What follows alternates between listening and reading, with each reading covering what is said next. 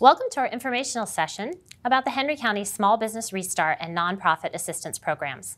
My name is Kimberly Monist, and I'm the Grant Administrator for Henry County Government. Let's get started with a bit of housekeeping first. This is a grant opportunity to provide relief funding for small businesses and the individuals served by nonprofits that have been negatively impacted by COVID-19.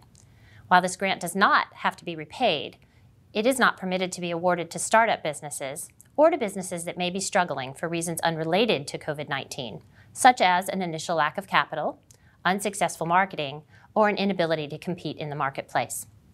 Additionally, nonprofit applications must provide direct services to Henry County citizens. This grant is not intended to reimburse for overhead expenses outside of support for direct services programs. The online application posted on August 19th and will continue until funds are exhausted. Application links are located here on the county website. I want to call your attention to the small business application first.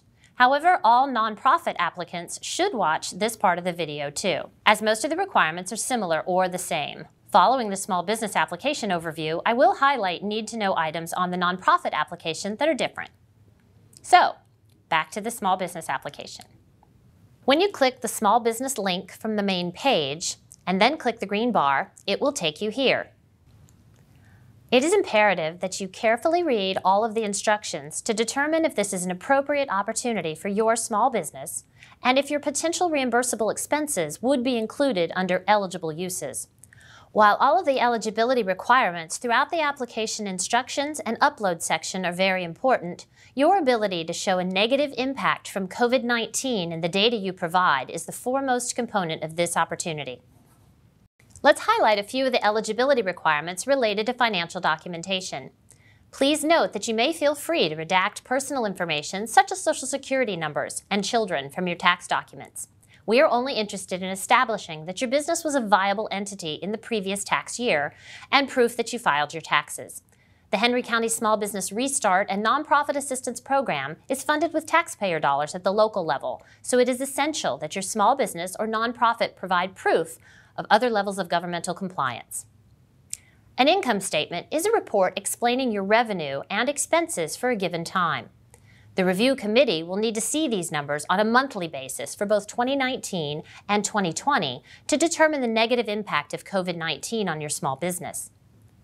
You can use your own accounting software, an online template, or an Excel or similar sheet you come up with on your own. Please make sure that the data you provide matches the narrative that you will provide later in the application. Please note, although we do ask the minority, female, and veteran-owned statuses of our applicant businesses, all applications are reviewed in the order in which they are received and are vetted on the quality of the application alone. The two text boxes located in the next section are for narratives to explain how your business was adversely affected by COVID-19 in words and dollars. It's important to provide as much pertinent information you can about your small business's situation for the review committee to evaluate. They may be unfamiliar with the business itself and will certainly be unfamiliar with your business's financial state. These text boxes provide the best opportunity for you to tell your story in your words and provide corresponding financial data in a way that shows your true need. The next section is where you upload all of the requested documents. We only allow PDF documents, so please make sure that you convert your formats before attempting to upload or you may get frustrated. You'll notice that there are asterisks next to most of the upload section. That means this document is required and you will not be able to submit your application without it. Here's some guidance on some of the required items. There is a link to a blank IRS Form W-9, which can be found in the instructions. This is a form to provide your correct taxpayer identification number to Henry County, who is required to file an information return with the IRS to report income paid to you. We cannot pay you without this. Tax information. We require the front page and the signature page. You may redact personal information, such as your children. The income statement should show revenue and expenses for both 2019 and 2020 in a monthly format. January, February, March, April, etc. All months can be in columns on the same landscape formatted sheet. The print will be small with many columns, but that's usually okay. You can create these documents in Excel, in QuickBooks, or other software, or using an online template. As a small business, when you file taxes, you must file one of the following schedules along with it 1120, 1120S, or 1040 Schedule C. Both C and S corporations must file a federal income tax return. C corporations use Form 1120 to calculate their taxes due. S corporations use Form 1120S as an information return. A Schedule C on a 1040 return is a profit or loss from business form. Consult your tax or financial advisor if you need help with the required upload.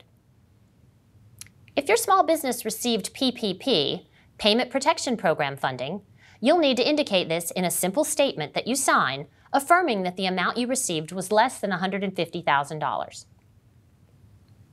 Now let's take a look at the nonprofit application for a few items of interest. Key to eligibility for nonprofits is proof that they are currently providing and have a demonstrated history of providing the service, not looking to provide the service for the first time as a Henry County funded new program. The actual service delivery model can be a new component, but you'll have to show capability and competency in administering the same scope and size program, or if enhancing an existing program, a clear delineation of, we served 300 last year, but with your help we can serve 500 because there is a need for small businesses, independent contractors, or self-employed persons. Numbers 4, 5, 8, and 9 seem to be the ones with the most questions. Since we've already discussed income statement for the small business application, I'll spend some time on the Form 990 and compilation review or audit. Some type of the Form 990 is required of all nonprofit applicants. It could be a regular 990 or a 990 EZ if your nonprofit is an organization that normally has $50,000 or more in gross receipts and that is required to file an exempt organizational information return. Or a 990N if your nonprofit is an organization that normally has less than 50,000 in gross receipts and is not required to file an exempt organization information return. Keep in mind that if you submit that your gross receipts are normally less than $50,000, please don't make a budget request for $50,000 or close to it. This grant is not meant to fully fund your nonprofit. It is meant to assist Henry County citizens in need due to negative impact of COVID-19. To that end, let's discuss the compilation, review, or audit. A compilation is a basic summary of your nonprofit's financial statements written by a CPA using data provided by your nonprofit. Unlike a review or an audit, this method provides no assurance. There are no tests performed, and the auditor does not examine any internal financial controls. A financial review is a limited examination performed by a CPA, reporting on the plausibility of your financial statements. A review provides limited assurance. An audit is a very thorough examination of the financial records for your nonprofit, which determines if the information correctly reflects the financial position at the given time.